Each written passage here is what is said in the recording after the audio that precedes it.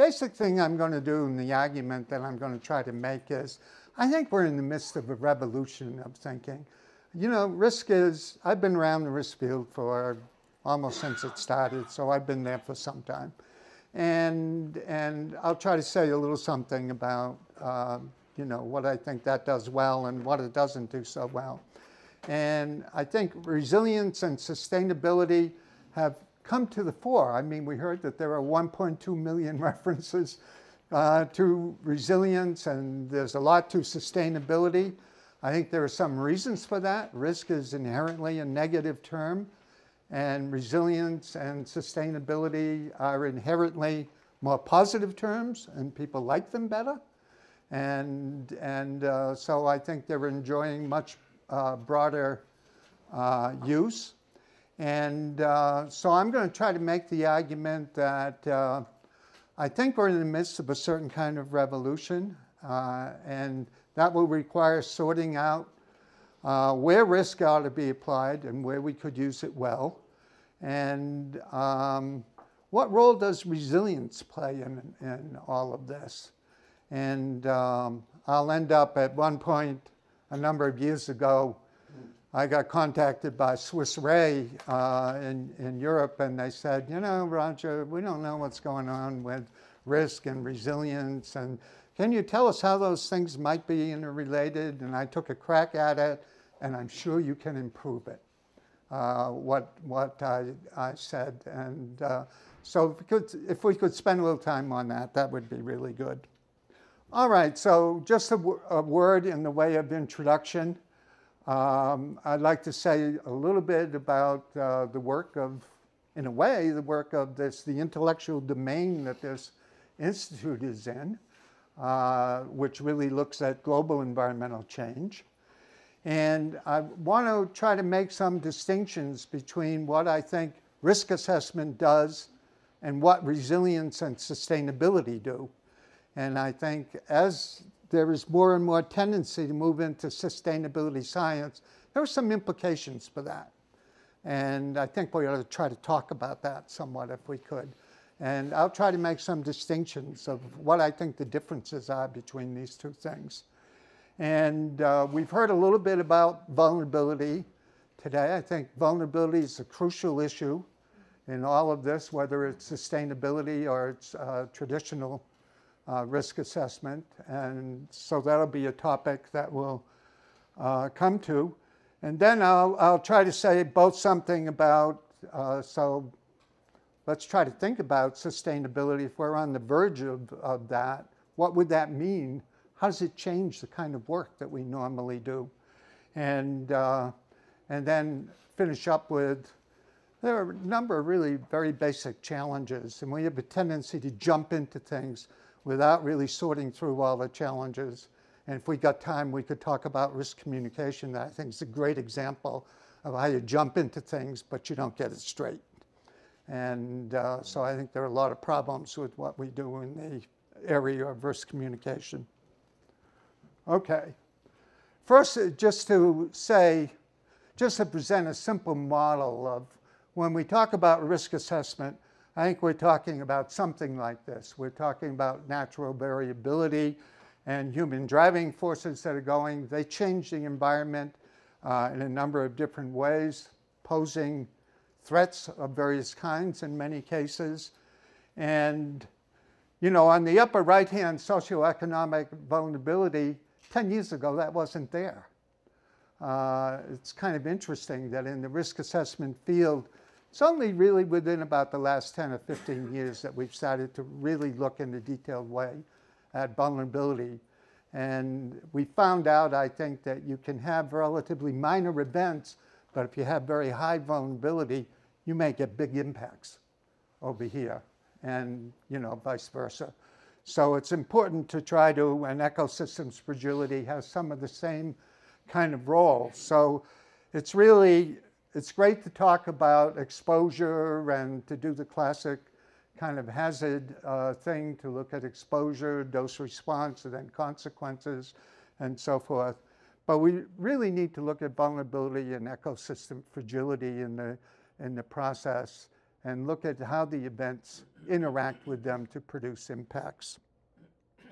Okay? Um, let me start by saying something about what I think the differences between these two approaches are.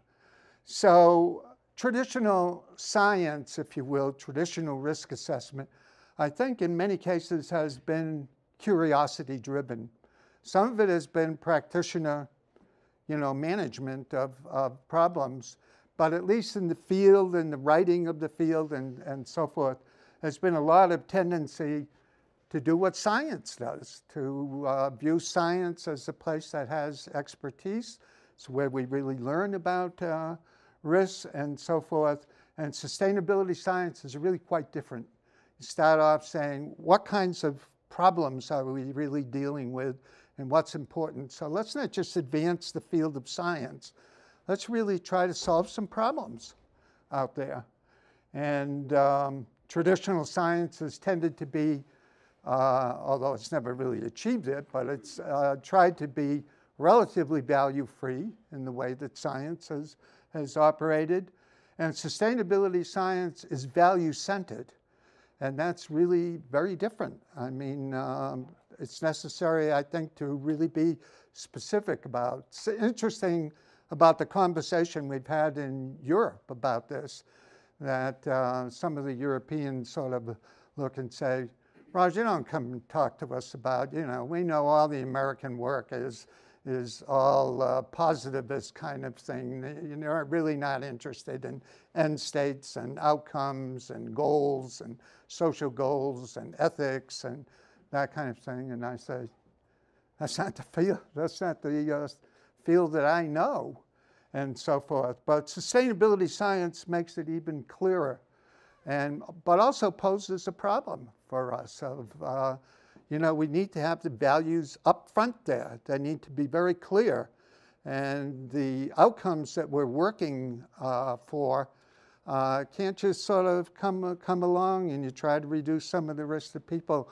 Sustainability science needs to be uh, very clear about the specific goals that uh, we're seeking to achieve. Um, traditional sciences tended to be divide and conquer, break things up and try to analyze them and come up.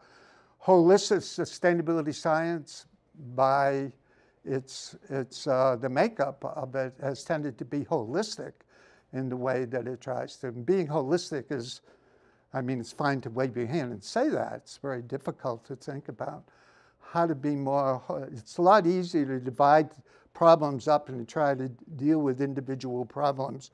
Being holistic about how you're moving to those broad social goals and how the whole set of inter interactions and changes are related to that is a lot more, a lot more uh, difficult. We had a little conversation about expertise. We'll probably talk more about that. Um, uh, you know, uh, some of the some of the environmental psychologists who worked in the field say the scientists are the worst at really being expert. They sometimes have an extremely narrow approach to something that's inherently a broad set of issues. And so let's really talk about expertise. And expertise for what? For what kinds of risks and so forth. And one of the things is, you know, sustainability science really looks at the uh, at risk as being risk. Um, years ago, we defined risk as as um, hazards or, or uh, harm to potential harm uh, to people and their values. And so the values of people, uh, we're experiencing this in Denmark at the moment, uh, often relate to the community and how you're changing the community and it may be all the trucks and so forth that are coming through the community that change it, or it may be that people, oh, I wanted to go to a place that really didn't involve the industrialization of the ocean. I don't like that uh, wind energy that you're proposing to put there. That's a risk that I'm really concerned about.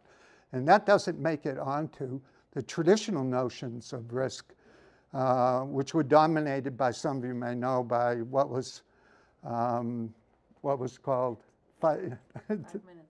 only five minutes left. Okay, I better get on. Um, well, maybe I'll do this with the five remaining minutes that I have. So um, while there's a lot of uh, pressure and movement in that direction, and you can see that by, uh, I was quite amazed to hear that there are 1.2 million uh, pieces that have uh, resilience or sustainability in the title. But in any event, uh, how we can really achieve the integrated analysis that we're talking about, that it's not just the deficit model anymore, people. It's not just the physical harm that's happening to individual people.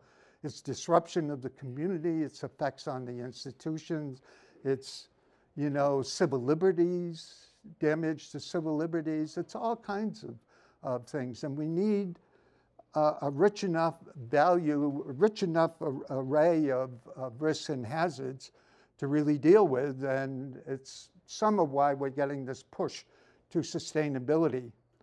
Uh, in the end, we need to talk about alternative uh, regional futures for, um, we're trying to deal with risk assessment and sustainability in a particular area, but that always has implications for developmental paths or future uh, regional, uh, alternative regional futures and so forth.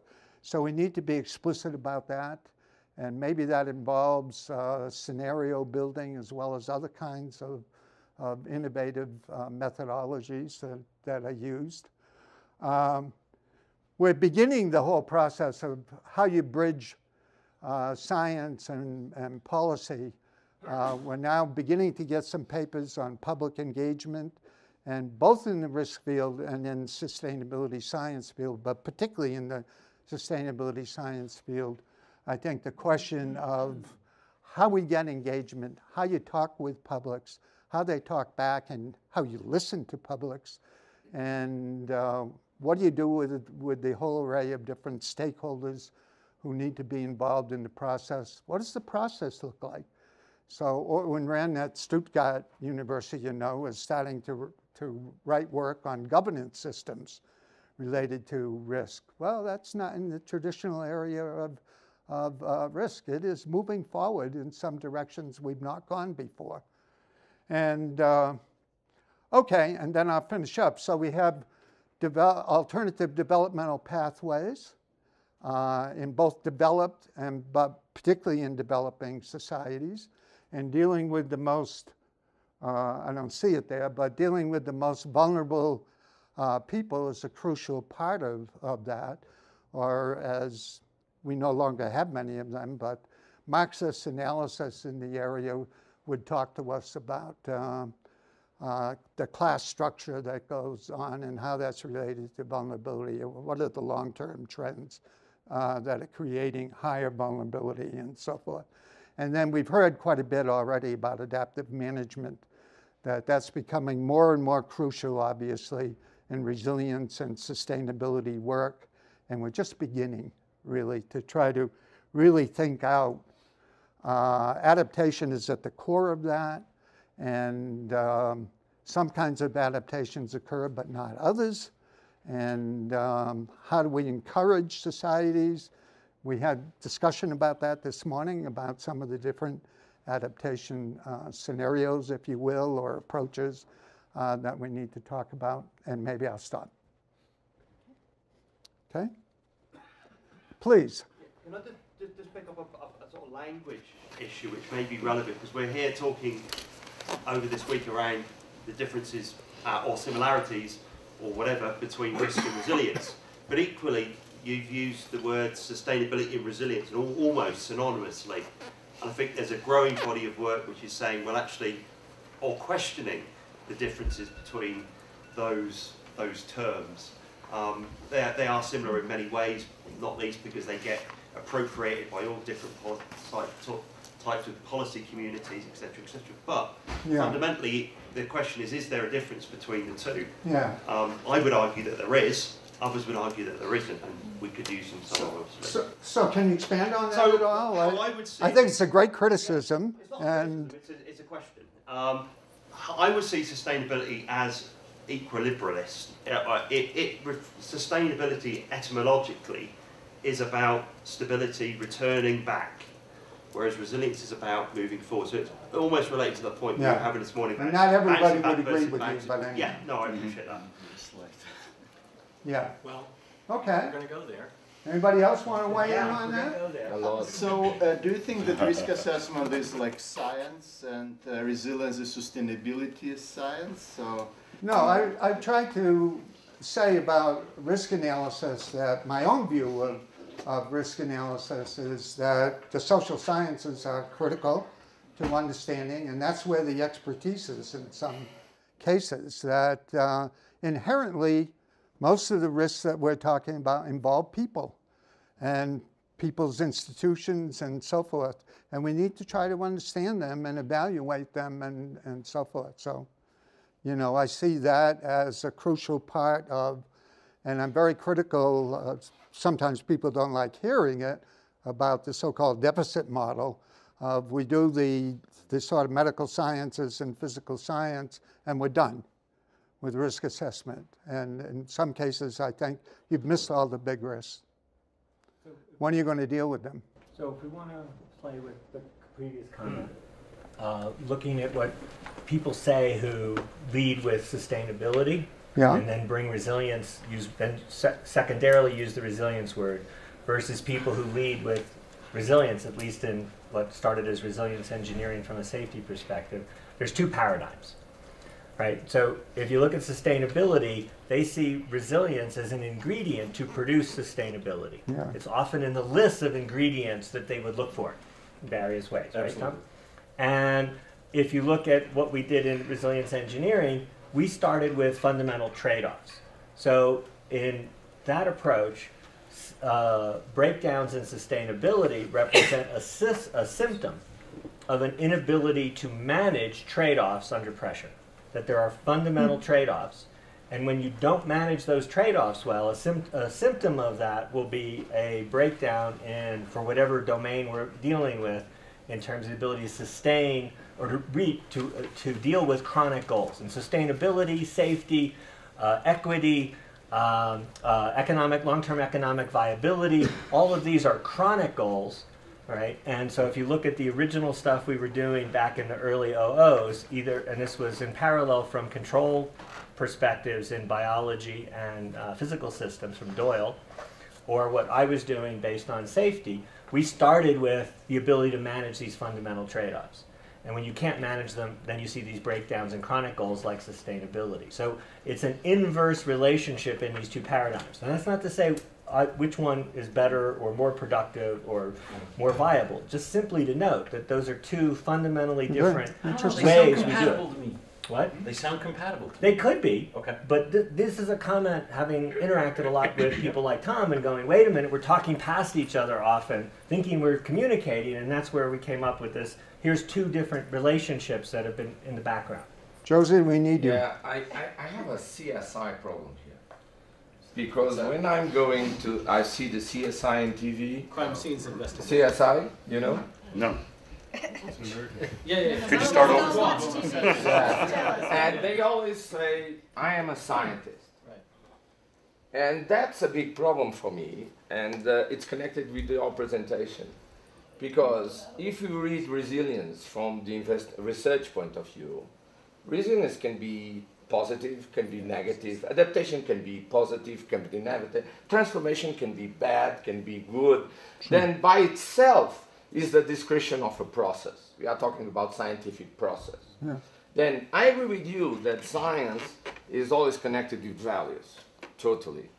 But if we can, we can draw, draw a lot. I was politician, but when I am researcher, I'm not a politician, although I draw the two things. When I am in the community, I'm a technology and applying science.